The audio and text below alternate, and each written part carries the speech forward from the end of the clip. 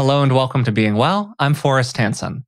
If you're new to the podcast, this is where we explore the practical science of lasting well being. And if you've listened before, welcome back. I'm joined today, as usual, by Dr. Rick Hanson. Rick is a clinical psychologist and a best selling author, and he's also my dad. So, Dad, how are you doing today? I'm good. And I can say most sincerely, always happy, Forrest, to be interacting with you. Yeah, it's always so great to do this. And I'm going to start today's episode with a little bit of flattery, not just for you, but for our listeners. We're incredibly lucky to have such an engaged and interested group of people who listen to the podcast. And because of that, we regularly get really interesting questions through email and on social media. So today we're going to be doing something that we haven't done for a long time and open up our mailbag. These are all questions that we received through either social media or email, as I said, and you can find our social accounts on Instagram, Facebook, and Twitter, or by following the links in the description of today's episode on your podcast player. If you'd like to have a question answered on a future edition of the show, just send it in to contact at beingwellpodcast.com. And if you'd really like to get a question answered, you can join us on Patreon. I respond to pretty much every message we receive over there, and it's at patreon.com slash being well podcast. So these questions are going to cover a variety of topics, and they were all sent in by listeners. But I've removed identifying details, and occasionally I've kind of paraphrased or simplified what somebody said for a broader audience. So, does that all sound good to you, Dad? Oh, yeah. I love the grab bags. It's great. And then they're portals, each one of these questions into deep and I think typically universal issues. Yeah, for sure. I'll go into our first question, which has to do with some family dynamic issues. And here it is. Over the last few years, I've seen my family less than normal due to COVID. I love my family, but we've got some chronic issues, probably like most families do. They do many things that I find difficult to be around, and there's some stuff from the past that I'd really like to process with them. Because of the pandemic, everyone's under a lot of stress. We've been seeing each other less, and when we do see each other, it feels like there's a lot of pressure to make the most of it and just be happy. It doesn't necessarily feel like the appropriate moment to have a big and potentially intense conversation with them. On the one hand, I don't want to be some kind of energy vampire or get trapped in the past or add stress to an already stressful situation. On the other, I don't want to just eternally sweep these issues under the rug, and I feel like they really are impacting our quality of life together. Do you have any advice? So, Dad, let's start with you.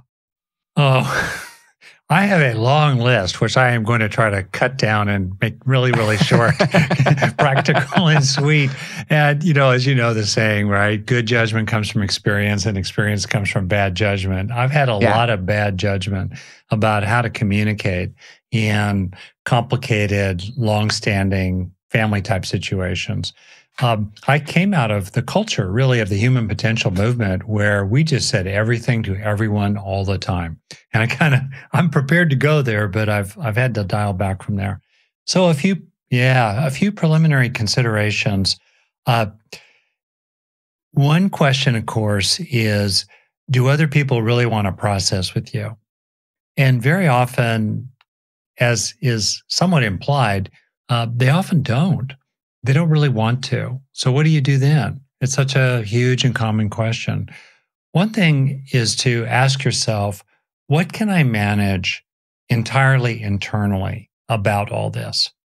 In other words, can I alter my behavior a little bit, like disengage from certain relatives that just don't feel good to be around, spend more time with other people? Would it help to have some plausible rationales, which I confess to having created myself, whereby I've got to leave early or I need to have sit near a certain person or a certain window, who knows what, when everybody else is smoking cigarettes? Uh, you know, what can you handle internally? Also, psychologically, what can you just manage internally? You know, let's say they did some things, they were genuinely problematic. To what extent can you come to peace about that just inside yourself? Of whatever's left, do you have any allies?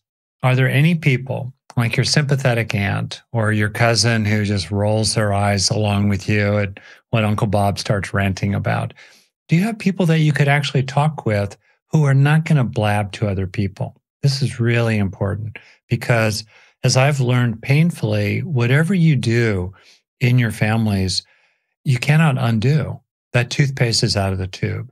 You might be able to repair it or heal it, but it's done. And you also just have no idea about how other people are going to report or selectively summarize or nastily spin whatever it is that you say. Okay, so let's say now you've got the irreducible minimum upset.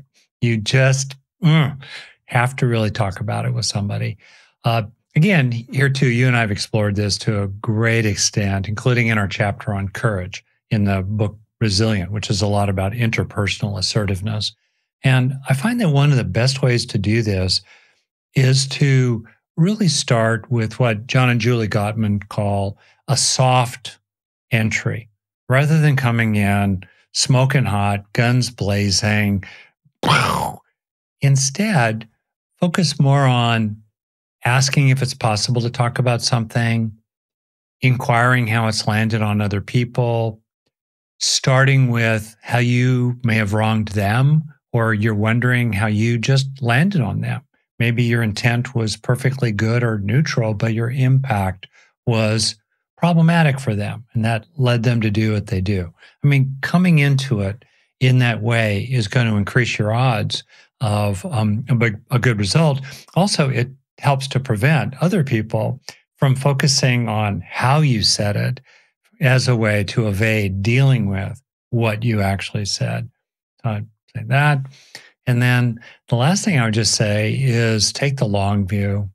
You know, these are people probably who are going to come to your memorial or you're going to go to theirs. Uh, you're going to have a long term relationship with them. And yeah, there's a place, as we've talked about in uh, episodes on family estrangement, for really just going, you know, I'm not getting anything out of that particular relationship, or maybe it's actively toxic and I'm going to draw a boundary there. But otherwise, uh, really take the long view, you know, and ask yourself if it's really, really worth it to try to push it, especially with people who are not used to talking about things uh, or just don't want to talk about it with you. Yeah. Yeah, you covered a ton there already. So I'm going to add only a couple of little things here. And the first thing that I just want to start by saying is that it sounds like the the questioner is taking a very thoughtful approach to this just for starters. And I think that that's a good approach to take. You're weighing these different dynamics, you're balancing different needs of different people. And I do think that there's a place for being kind of respectful about what other people are going through. But you also don't want to let the immediate challenge of the moment get in the way of making a, a communication or having a conversation that could have very real long term benefits, not just for your experience, but for the experience of the family as a whole. And I've talked often with my partner, Elizabeth, about how sometimes for one of us, there will be kind of a communication that's bubbling underneath the surface. We're sort of chewing on it, we're thinking about making it. But we just notice that the other person is is going through a hard moment. And then okay, so we kind of put it on the back burner and things get better and they're not going through the hard moment anymore. But then the things are better and now you don't want to mess them up by having a tricky conversation that maybe makes them worse again, right? So, so you true. can absolutely you could just get into this kind of perpetual deferring yeah. of the hard conversation because there's kind of never a good time to have a, car, a hard conversation, right? When things are good, you don't want to mess with them, and when they're hard, you don't want to pile on. Um, and so I do think that that's a real, and I, I don't have a silver bullet for that. I'm not pretending to, but I do think that that's a real dynamic that a lot of people deal with in their lives and can be really challenging. Um, I think the main piece of advice that I would give just really dovetails with some of the things that you've already said, Dad, which is that there's a real wisdom in establishing the conditions that can lead to success in your communications. Uh, for instance, one piece of advice that we got from Stan Tatkin when he was on the podcast, and he's a, a great relationship counselor, is to basically never have an important or sensitive or touchy conversation while you're driving, particularly with your partner. You're distracted, it's a fundamentally threatening situation. Maybe all of this other dynamic stuff starts to enter the pie about like how somebody drives or how we only have these conversations when we're doing something else. You know, it's just, it's messy. So I think that there's a wisdom in avoiding messy situations. And maybe for you, a messy situation is during COVID. And so, if this is one of those things where you feel like you can authentically kind of put in the bag for, you know, six to eight to 12 months here as plausibly conditions maybe improve a little bit. I, I think that that's a rational choice. Um, at the same time, as you were saying, Dad, if you feel like you can't do that, starting with a talk about talking, which we've talked about plenty on the podcast, uh, is I think a really good way to do it. I'd, having a, a a process conversation with a member of your family that you feel relatively safe around. Hey, I've been chewing on this stuff. I'm not really sure how to bring it up. Do you have any advice? Do you have any thoughts? Do you think that that's something that people could be open to? It can just be a way to kind of like dot your I's and cross your T's and sort of set everybody for up for success in the future. Excellent.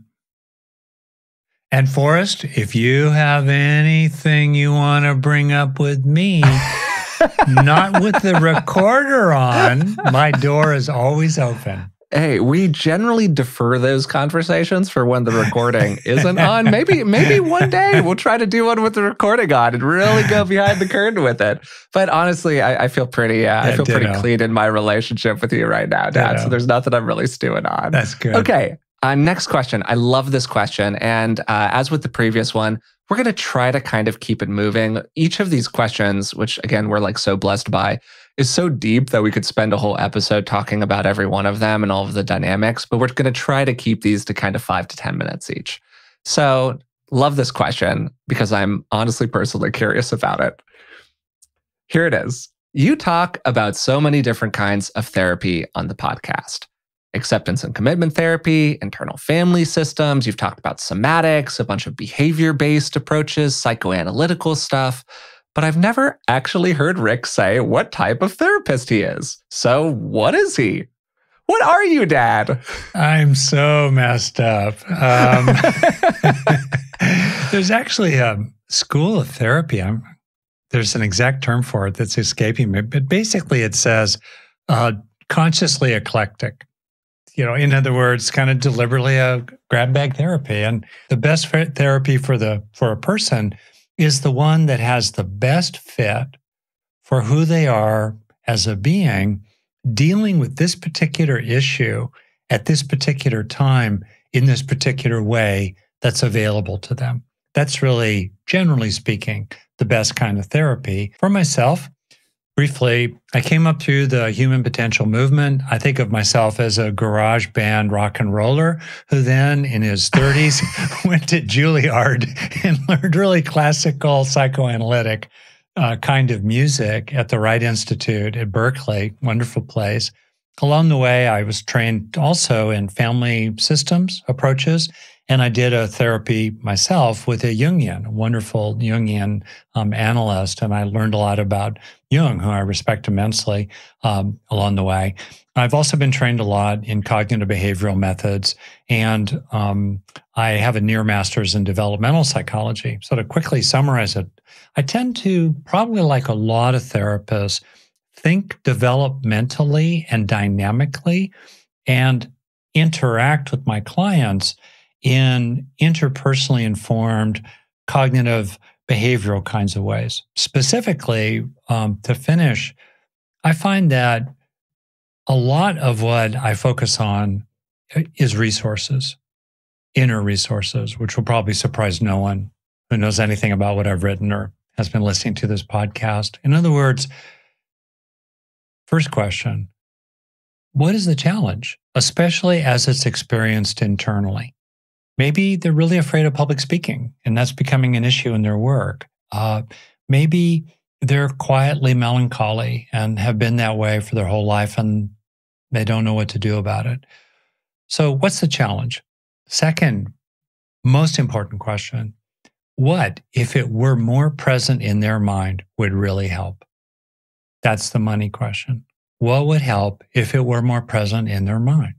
Then the third question is how can they have more experiences of that specific inner resource? Which, in the fourth question, how can they internalize those experiences as lasting neuroplastic change inside their own body? So I try to mobilize, uh, you know, different kinds of psychological strengths, inner strengths in a client to deal with whatever issues they're dealing with. And along the way, if the person is open to it and has some feeling for it, to help them tap into the underlying uh, goodness, wakefulness, and lovingness that I think is inherent in all of us. to kind of put what you're saying there into to my limited understanding, because I am not a clinician, um, it sounds like you are all over the drawing map. a lot That's what you're from a lot. for. yeah, you're you're drawing a lot from a lot of different places. But I think that this is actually consistent with most good therapists. Like most of the good therapists that I've talked to have a core center of their methodology. They have a, a set of tools that they go back to over and over again. So maybe for you, that's that idea of resourcing. You're like, Where does it hurt? What would help? yeah, yeah. Where does it hurt? What would help? How can we build more of that? Wham bam. Great. But, you know, different people come in with different problems, like you were saying in the very beginning, and maybe are suited by different kinds of methods. And you don't want to be somebody who only has a fastball as a pitcher. You want to have your curveball and your changeup and your whatever. And you go back to your fastball because it's like your your priority pitch, but you can do the other ones too when you need to. Does Now, that come sound on, about right? Forrest. Aren't you happy now that you're bringing in a sports metaphor? any opportunity I have on the podcast to display my fandom is it's it leaks out more and more as I've become a little bit more Looser relaxed as we're doing this. Yeah, yeah. absolutely. Um, yeah, so to to forward something I've already named Elizabeth once, I might as well keep doing it. Uh, Elizabeth is currently training my partner to be a psychologist, specifically a somatic psychologist, and I think that with somebody like you, Dad, because you're such a chameleon, everyone like sees in you what they want to see. So Elizabeth's theory for a number of years now has been that you're actually kind of sneakily a somatic psychologist. You just don't talk about it that way. Cause you always go to like, oh, what does it feel like? And she's like, that's that's the game, right? I mean, that's what we're doing. So that's her theory. I'm sure if we talked to like an IFS person, they'd be like, I don't know, he does a lot of parts work or whatever else. So yeah. That's really sweet. Well, to underline that point too, um, the somatic therapies and that emphasis, which is very allied with my own background in human potential, which did have a lot of focus on intensity and embodiment. It's really, really important. And it's it's interesting. I, I think maybe it's a bad metaphor, but it's it's someone who's a alcoholic in stable recovery who often can really appreciate the virtues of sobriety. And for me, as someone who landed in adulthood very Spock like, kind of numb from the neck down, I really, really appreciate the value of somatic awareness and engaging what, you know, Antonio Damasio coined the phrase for the somatic markers, the subtle body sensations or patterns of tension or preparatory movement that are linked to our underlying maladaptive patterns of thinking and feeling and acting. Uh, it's a fancy way to put it. When you become really aware of the subtle somatic qualities in your body, let's say, of shrinking back in a conversation or pulling away from someone who's being a little emotionally intense, or maybe pulling away from someone who's bidding for contact, who's trying to you know draw you closer including in sweet and wonderful ways when you're aware of that little body sensation in yourself or the body sensation that comes along with more globally a strong sense of self. Right? When you become more aware of those uh, underlying somatic markers you can become a lot freer in relationship to them less driven by them and over time you can even transform them. But if you're not aware of them in the first place root root you're numb below the neck. Totally. Um, completely consistent with my own personal growth experience over time, as I think in much the same way, uh, I was either kind of natured or nurtured, depending, I mean, who knows, into being a pretty cognitively oriented person.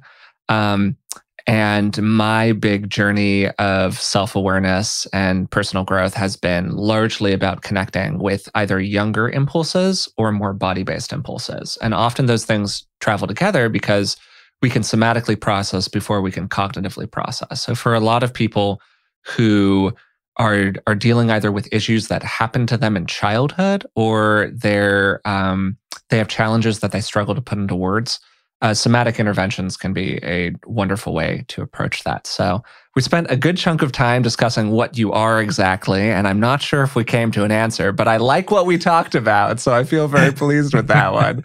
But okay, I think that we're about ready to move on to the next one. So, next question. I was listening to your conversation on how to make a big decision, and it made me think about my approaching retirement. I've been careful, worried about money, and kind of ground my way through life because I valued security. But there are things I would still like to do, including just living day to day without going to work while I still have the physical ability to do them. I think I probably have enough to safely retire, but releasing the security of a paycheck feels very scary. How do I decide when the time is right? Well, as a longtime therapist, I have found that people often are more willing to talk about the intimate details of their sexuality than they are to acknowledge what their net worth is. As if I care or am going to tell anybody, given that I'm governed by confidentiality. So, money actually, and I've even, I don't know what the research actually is, but I've heard it said that money issues are one of the major sources of problems in relationships and couples, uh, even more sometimes than issues related, let's say, to the erotic dimension of their life. Uh, so, it's a big deal. I've gone down this road a lot myself. As you know, I have an analytic background with risk analysis and probabilistic ways of thinking about it. And your mom and I have done multiple cycles of when is enough enough. And there's a, I believe, a saying in um, Taoism that one who knows when enough is enough always has enough. You know, that's very. What is the sound of one hand clapping? Yeah. anyway, short version is it's really helpful to do the analysis part. And you can do it just on your own um, with an Excel spreadsheet. And you can just kind of run it out. A.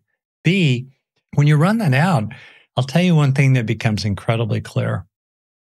Number one, the impact of bad events, big bad events early on. And a lot of what you're doing when you're trying to save for retirement is to protect yourself against the impact of, you know, those 10% likelihood events, especially during the first five, 10 years or so of your retirement that wipe you out and have a big, big impact going forward. So I'm not trying to make a person paranoid here.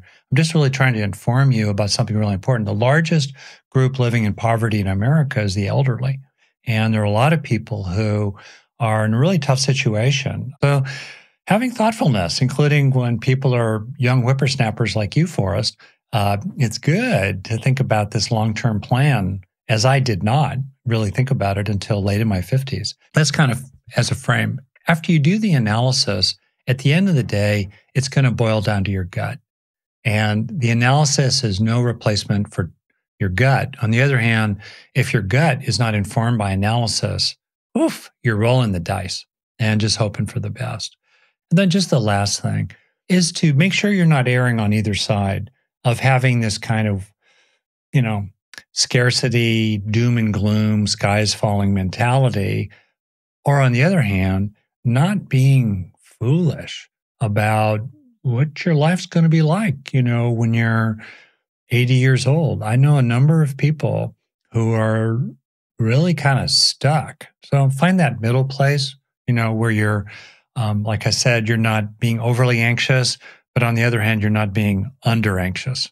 Yeah. I think that the big picture question here is how does analysis help us feel better or not help us feel better about an emotional experience?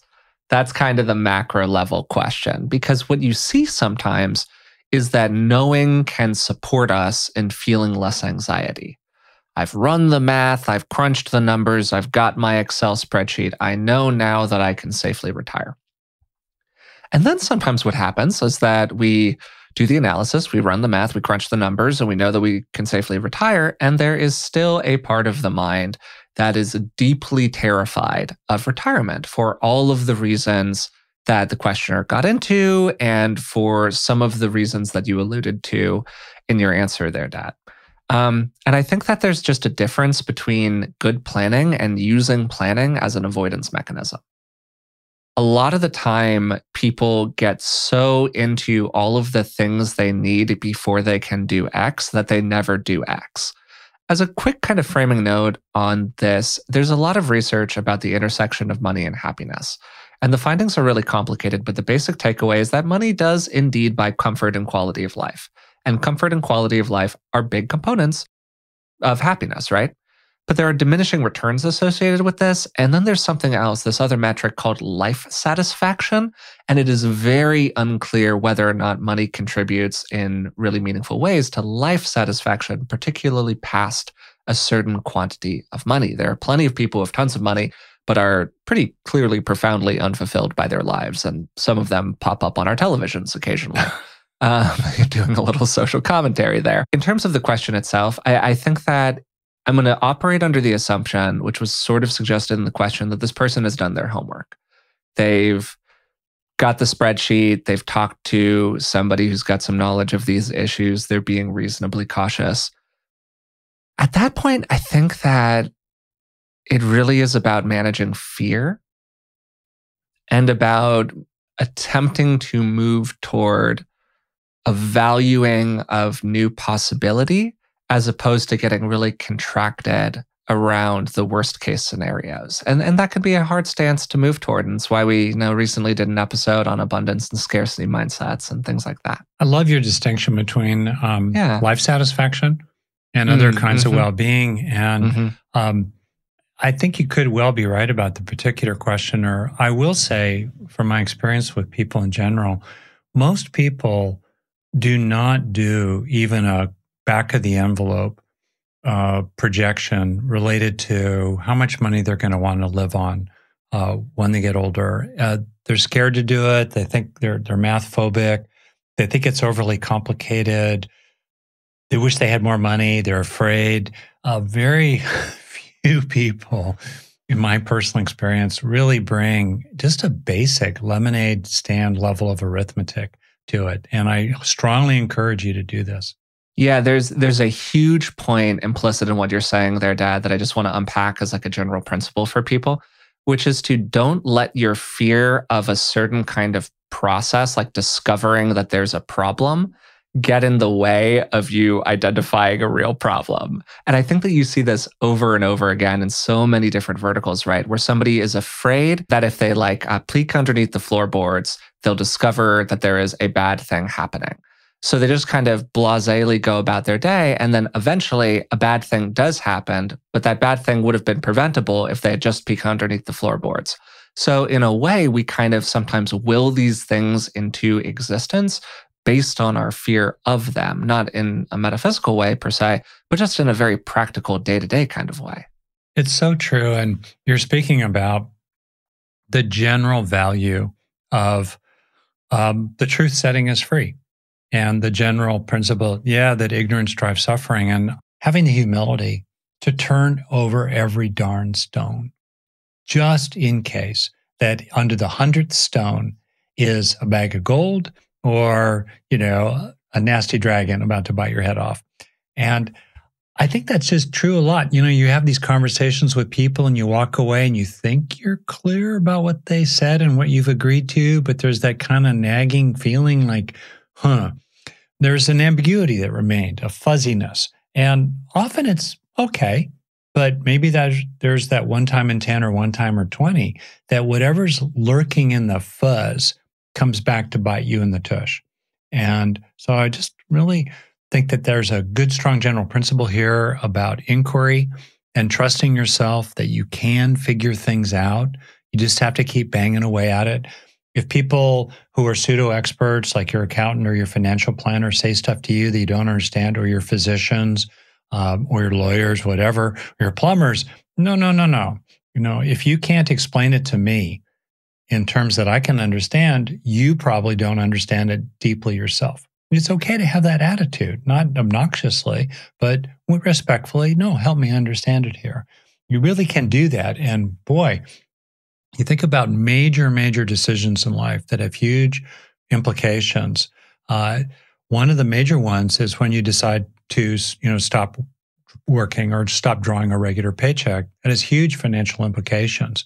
Uh, it's really important to get that kind of decision right. Yeah, no, totally. And uh, you just led us into the next question beautifully because you're going to be asked to explain a complicated idea very simply here. So here's the question I like hearing about all of the neuroscience that you talk about on the podcast, but I'm not always sure that I actually understand it. For instance, you use the phrase neurons that fire together wire together a lot. What does that actually mean in layman's terms? Okay. And I really will try to regulate myself here.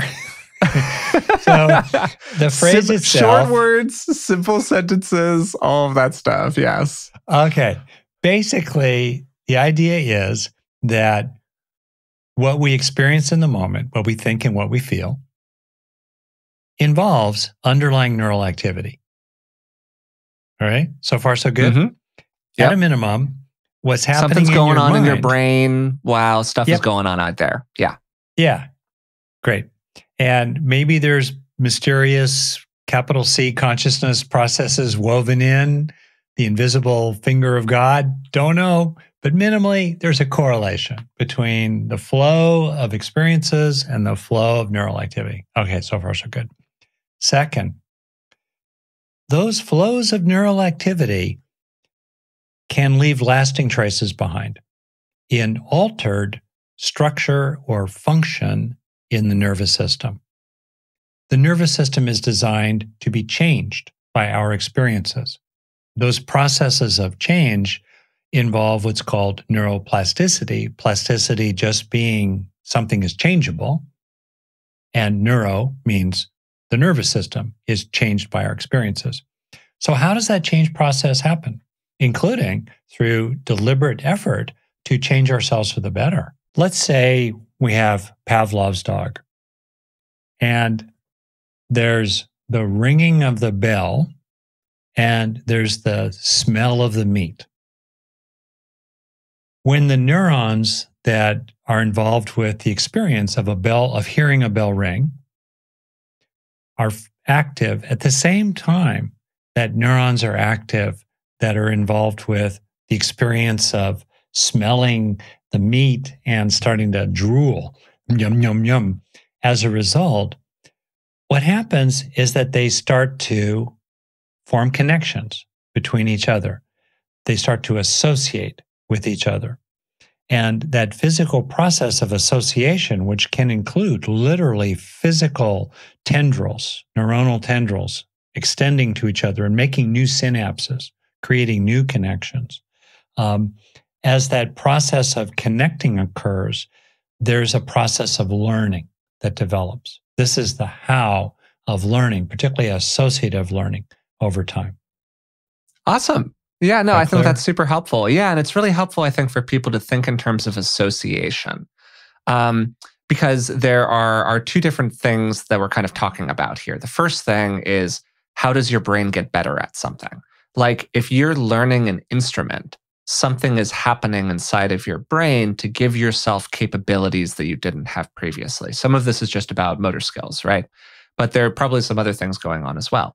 Um, then in this other version, what you're describing is things are becoming increasingly strong in their associations with one another over time. And this is part of why kind of traumatic experiences of various kinds are so powerful and so painful for people because two things become negatively associated with each other most of the time. People who have a pathological fear of driving because they got into a previous car accident. Like, well, it's very understandable. They were in a car, a bad thing happened. Their brain now goes, every time I get into a car, a bad thing is going to happen. Now, we know that that's not true objectively, but the brain has learned something really important about the world and is holding on to it really tightly.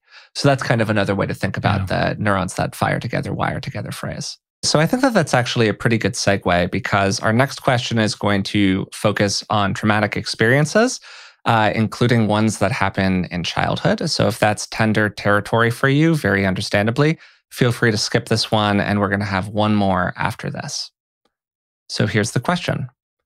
I was listening to your podcast focused on connecting with your inner child, and I wanted to reach out. I went through some very painful experiences as a child. My mother died when I was very young, which was followed by a lot of emotional abuse from my stepmother and later some problems with my father. Because of this, I have a hard time feeling and thinking about that time. Would the process of connecting with a younger self be similar for me as it would be for someone who didn't have those experiences? Would I need a therapist to guide and support me? And what kind of impact do you think it would have on me?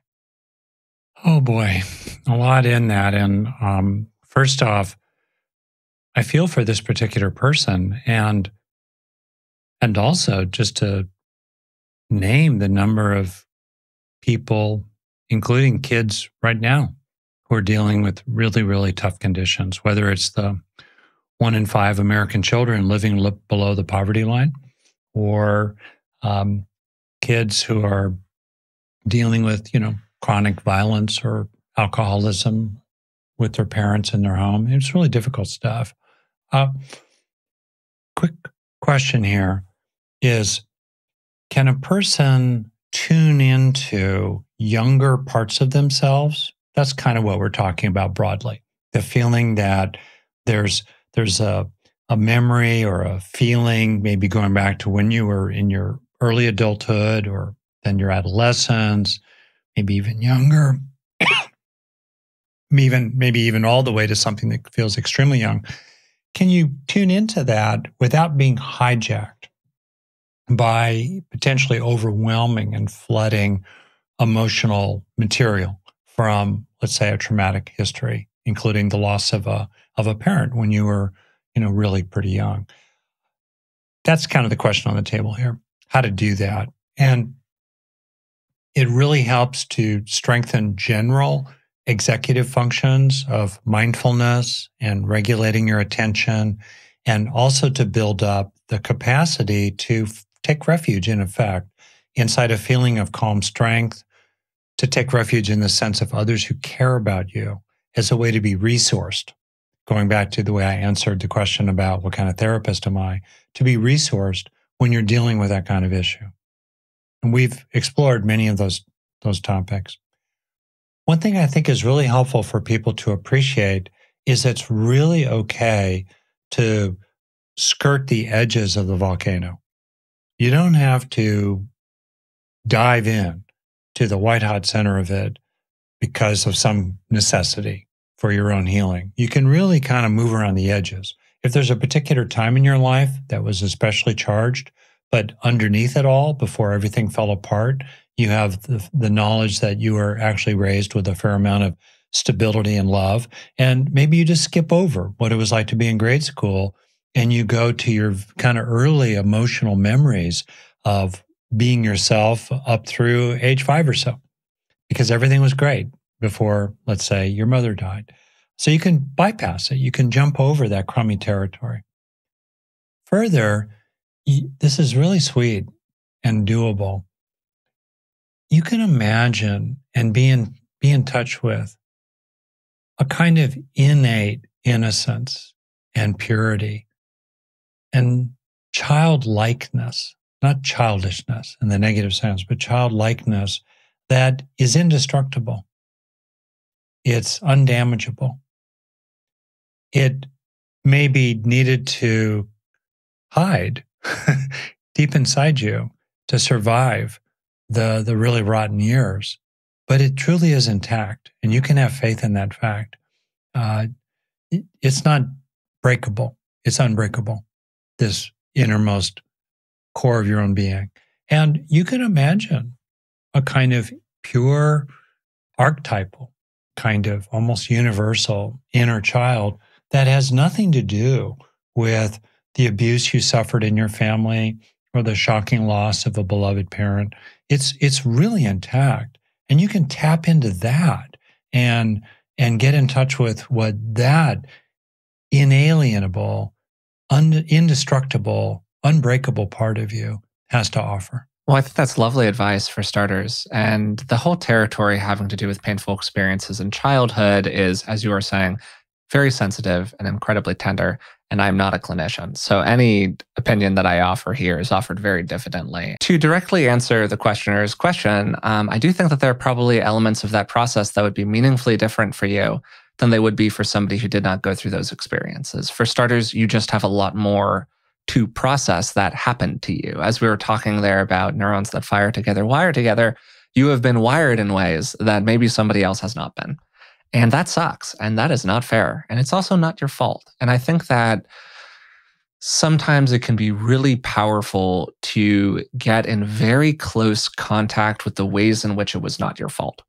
And that can be um, quite difficult for people often. Uh, there's a lot of self blame that can enter the field for people who have gone through abuse experiences that, again, does not make logical sense to somebody who views the situation from the outside, but it's almost a way that the brain can protect itself um, because children seek to make sense of their world and they derive a lot of that sense making from their primary caregivers. So it's actually safer for kids to feel like they are bad and wrong than for them to feel like their parent is unreliable or unstable um, because that actually is a much scarier world because it's a world that fundamentally doesn't make sense. And uh, that for me was like a very powerful piece of information to learn when I first kind of encountered it. And it really helped me reframe how I thought about a lot of different things.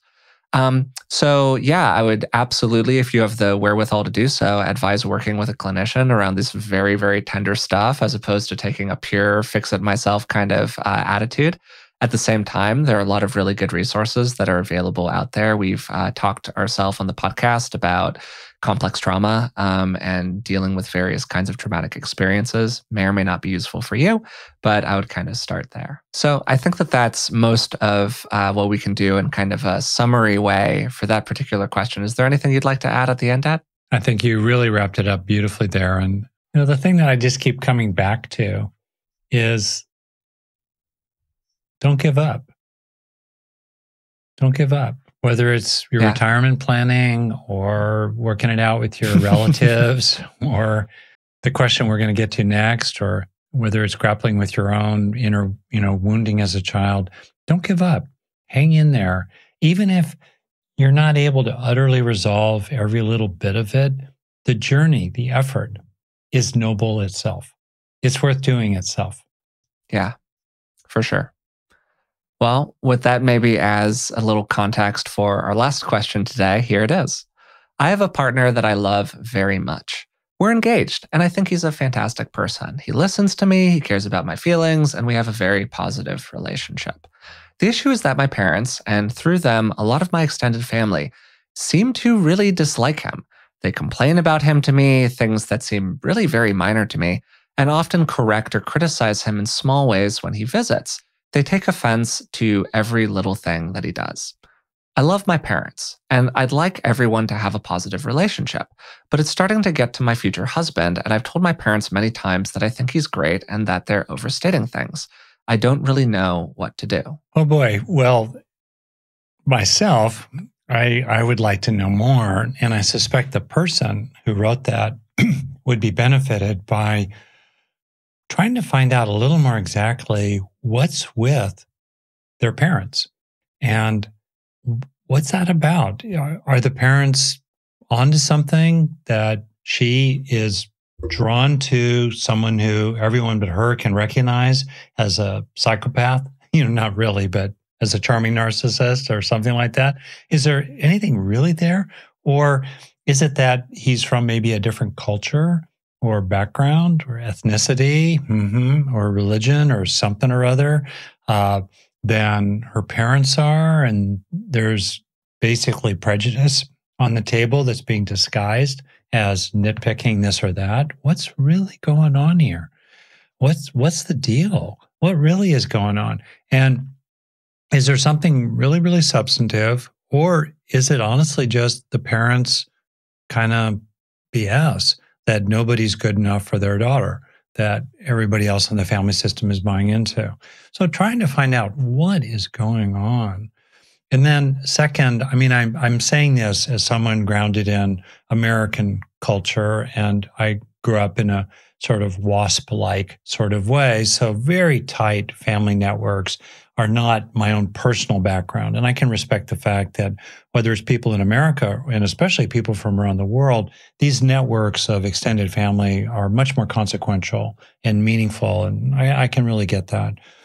That said, uh, this person, the guy, sounds great. If you're planning on having children with him or not, either way, you go into your marriage thinking that you're going to spend the rest of your life together, which means most likely you're going to outlive your parents and be with this person you know long after your parents um, are really playing a major role in your life. And you know not to be overly american you know, culturally about it, but I think a lot of people, basically, if they had to make a hard choice between uh, having a, you know, a fairly polite, civil, once a year visit, distanced relationship with their parents, compared to you know giving up on someone that gets they could spend 360 days a year with with wonderful happiness and fulfillment they would choose spending uh, you know and prioritizing the person who could be their mate. So kind of contextually here. It's also true that i say this as a guy who's approaching his 40th wedding anniversary and um, who was married for a long time while his parents, me, were still alive. Certainly, my dad, who outlived my mom by about 10 years. Uh, you know, over time, there are natural processes of distancing and, you know, kind of civil uh, uh, compartmentalizing of relationships while still feeling love for people in your extended family. And over time, there often are ways to, you know, just kind of politely disengage and stay out of trouble. And, and especially when grandchildren, grandchildren come along, wow, you have some major bargaining chips, you know, with your own family of origin. What do you think, Forrest? You're you're on the other side of this, you know. Like, what if uh, mom and I, you know, we just hated Elizabeth, uh, who we don't. We really love her and like her a lot. Yeah. Uh, but if we're like always saying, thankfully, she's so bad yeah. for you, you know. These therapists are crazy. Your kids will be harmed. Totally, Can these crazy therapists, man. I know. We're gonna delve oh. into their brain. Oh Jeez. no! Don't do it for us. Don't do it. I mean, what would you do? I, I think it's really hard for starters yeah. because I, I totally agree with everything you said in terms about find out what's true. There, you know, we all have our blind spots. And thankfully, I have never brought somebody home where you guys were like, yeah, I don't know about that one. Maybe there were ones where you kept it to yourself. I don't know. That's that's for you to for you to know and for me to find out maybe. But in general, you never you never took that orientation with a significant other of mine, so I can't speak from personal experience here. Um, but just having seen it among friends or, or kind of thinking about it in terms of general terms, there is definitely a big find out what's true process. There are sometimes things that other people see that we just don't see. And and it's it's appropriate to have a certain um, humility about our own perception, our ability to perceive other people clearly, all of that stuff. I'm going to assume, for purposes of this question, that the parents and the family system's gripes are about something else. Uh, big functionality question around behavior for starters. Is there a specific behavior your partner is doing that they are finding problematic? And is that behavior easily editable? And if it is, then you can have a wonderful conversation with your partner about, hey, I don't think this is an issue, but my family's a little funky about this. Would you mind scaling it back a little bit? And if they're like, I'm just not going to do that, that's kind of interesting for starters and maybe is something that's worth investigating a little bit, right? That's like, oh, interesting. Hmm um, part of the calculus. So that's question number one. Question number two exactly everything you said, Dad, about cultural differences, prejudice, um, even just like homeostatic disruption. We've talked about this a lot on the podcast in the past. When groups are very resistant to change, and people often perceive time as a scarce resource because it is. So if your parents are used to having you over and just getting to spend all of their time with you, and all of a sudden, this other person has entered the field that they care about less because it's not their genetic child and is starting to steal your time away from them. Wow, that can very easily create some resentment and some frustration and some, oh, why are you spending so much time with John? Don't you know that he's a blah, blah, blah, blah, blah, blah, blah, blah, blah, you know, because of that underlying threat to the system as a whole.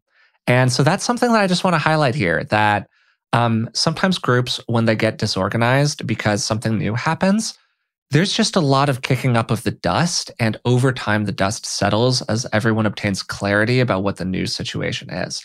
So maybe there's the space to have a conversation with your parents around, like, hey, are you bothered that I'm spending more time with John than I am with you? And I've created that name for the record. That was not in the questioner's question.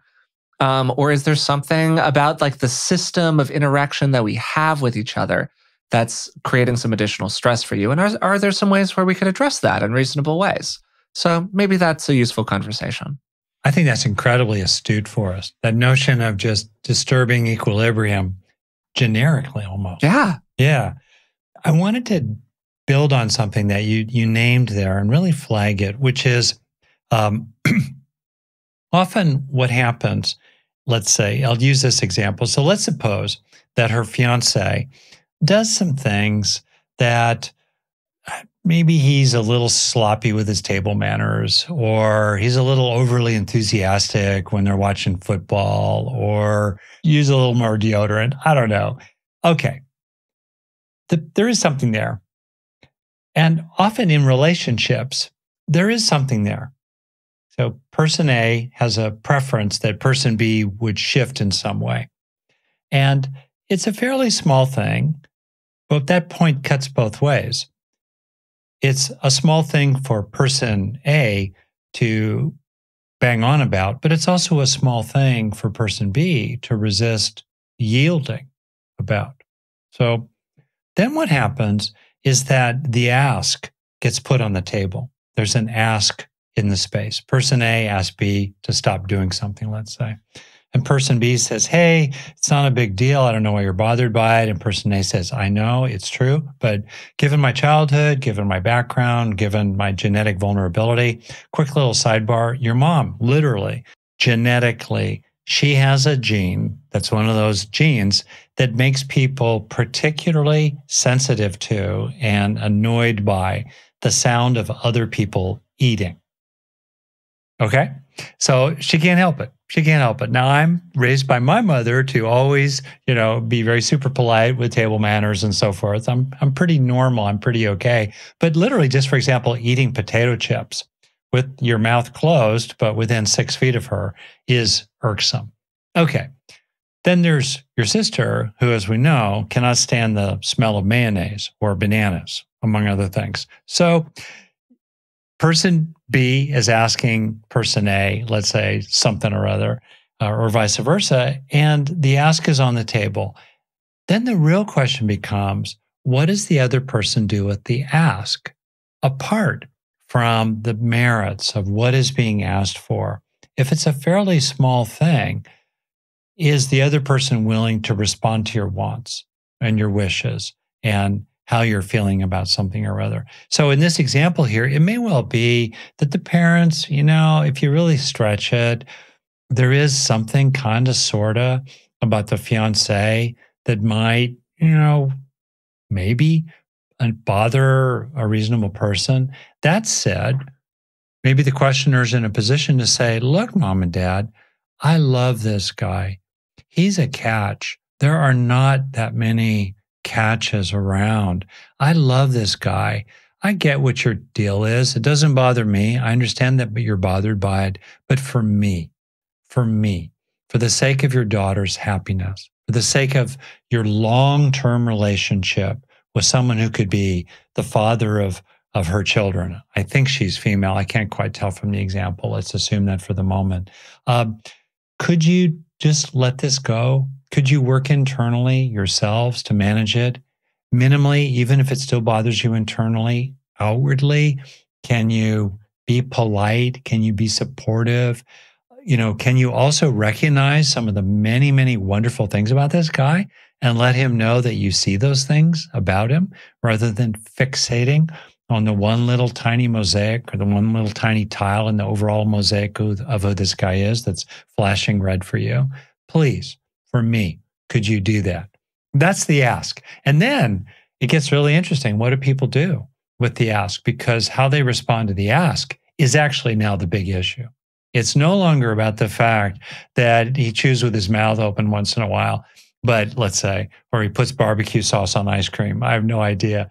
Uh, you know, well, that's a punishable offense, Dad. That's, that's, okay, that's too far. You've crossed the line. You cross the line. Okay, no barbecue sauce on, but but chocolate ice cream would be okay, just not vanilla. Anyway, uh, yeah, um, yeah, so yeah, that, yeah, so that's kind of the deal, and that kind of leads me in general to try to be responsive to the asks of other people, if you possibly can.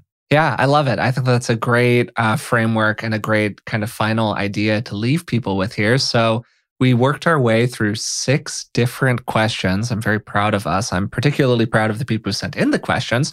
For starters, because sending in a question to be answered on a podcast is itself a little spooky, I would imagine. Um, and also, I just really appreciate how interested and invested people are in both the material that we talk about in the show and more broadly in becoming a more whole, more happy, more healthy person out in the world. I just think that it's so great that we have an opportunity to, to talk about this kind of stuff and that people are so interested in it. So again, thank you so much for sending in your questions. You can reach us at contact at beingwellpodcast.com or through social media, and you can find links to all of that in the description of the show, which you should be able to find through whatever podcast player you're currently listening on. So today I had a great time talking with Rick about all of these wonderful questions that people sent in. We began today's conversation with a question focused on when to time challenging conversations with other people. Uh, there's often this tendency that can emerge inside of our relationships where when things are, are kind of bad with somebody else, maybe we don't want to toss a really difficult communication onto the pile because they're already sort of going through a hard time. And at the same time, when things are really good and really easy, we also don't want to make a challenging communication because we don't want to mess up a good thing. And that's really tough. You can create a situation where you're kind of damned if you do, damned if you don't. In this particular situation, the questioner was asking about making a difficult communication or asking to process some things with their family. And there's a lot of extra tension and stress right now. Of course, due to COVID, people are seeing each other less frequently. It just doesn't feel like the right time. And just as they're insinuating, there are definitely better and worse times to make an important communication. As a kind of classic example, having a big process conversation while you're driving a car is generally not a great idea. Your attention's distracted, it's a little extra stressful. It's just not laying the foundation for things to go well. So maybe there's an opportunity here for the questioner to lay the foundation with their own family, to have a talk about talking, to kind of set the ground rules as to whether or not this is a conversation that they would be comfortable engaging. And if it's not, well, then it's time to start asking what can you do inside of your own experience that can make things as good as possible? And alongside that, have you just hit the end of your rope? Is there nothing else that you can do for yourself? And it really is time to engage this difficult question with the broader family system. In the second question, Rick was asked what kind of a therapist he is. And the truth is that Rick's a generalist. He's been trained in a lot of different methodologies, and he really takes a pretty holistic approach to therapy. He's the kind of guy who believes that you need to have a tool in your toolbox for everything because different things are going to work well or poorly for different people. The third question focused on when a person can know that it's time to retire. But the underlying question really had to do with this balance of safety and security with taking a big swing and chancing a risk and doing what you really want to do. And uh, to steal the line that Rick likes to quote all the time, your one wild and precious life. And analysis can really inform our intuition here. It's really important to go through a thorough process of evaluating what the facts of the situation are, because once you do, you can make a much more informed decision. But there are times where we've truly gone through the whole analysis and still we're afraid to take the next step. And then it becomes about processing the psychological fear that is arising due to this new circumstance that's evolving inside of your life. There are a lot of ways to do that, a lot of different approaches that might work for different people. And we've certainly explored a variety of ways to cope with anxiety on previous episodes of the podcast. The fourth question had to do with the phrase neurons that fire together wire together. And Rick was asked to simply explain what that phrase meant. The basic idea to really oversimplify complex territory is that different kinds of experiences become associated with one another. It's like Pavlov's bell, right? The dog hears the bell and knows that that means they're getting fed. So over time, the ringing of the bell becomes associated with the dog getting a nice juicy steak.